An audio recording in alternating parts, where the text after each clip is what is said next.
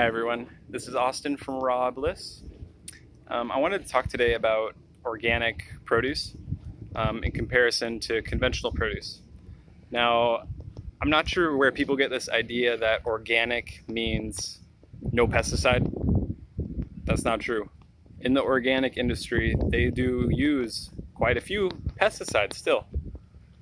Um, and it might surprise some people that in some cases, organic pesticides are actually more toxic, according to the LD50, the lethal dose um, to kill a rat, you know, that they experiment on, all kind of stuff like that.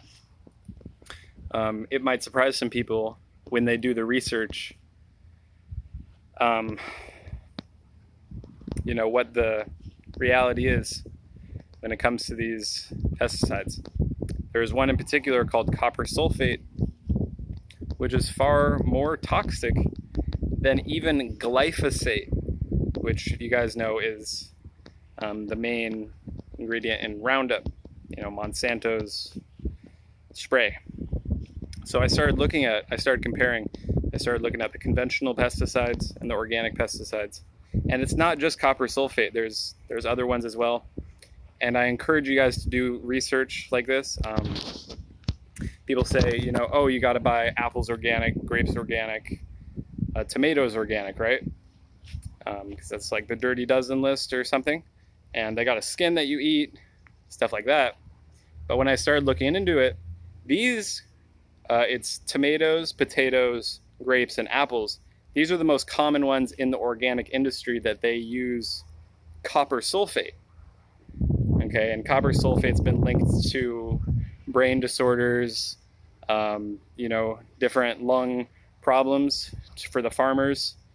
Uh, and you can look into this. It's just, it's really crazy. The more I researched, the more I didn't see much difference between conventional and organic, ex except that copper sulfate was actually more toxic. And there are conventional pesticides that are not as toxic as glyphosate as well. And there's also organic um, ones which are you know completely fine to use, but there's also organic pesticides. This this kind of blew me out of the water. There's organic pesticides that um, are toxic to bees. There's quite a few actually. And um, you know, a lot of people will say, "Oh, we we do organic on the farm because of the bees," you know, because of the bees. And it's like, well, do you really? Um, because I feel like a lot of people aren't educated on this. Like, I didn't know about this. I just started researching because I saw a video Andrew Perlot did. Andrew Perlot's like a uh, an athlete. He's a long-term fruitarian, raw foodist, whatever you want to call it. And um, yeah, it just got me thinking, and I started doing some research. So I wanted to share this with you guys because a lot of people think organic is the panacea. We should always buy organic whenever possible. Um, but what I would encourage is to get local, meet the farmers, and meet people who don't spray at all, rather than trusting an organic conglomerate company that sells to supermarkets. Okay, so buy locally, and that's going to be your best bet.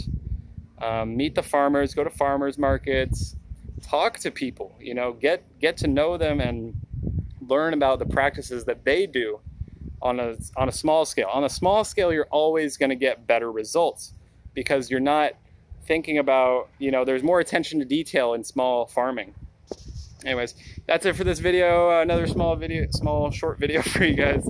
Thank you for giving it a thumbs up and commenting down below your thoughts. I know this is such a controversial topic. Oh my gosh. Thank you guys so much for watching. Peace and love. See you in the next one.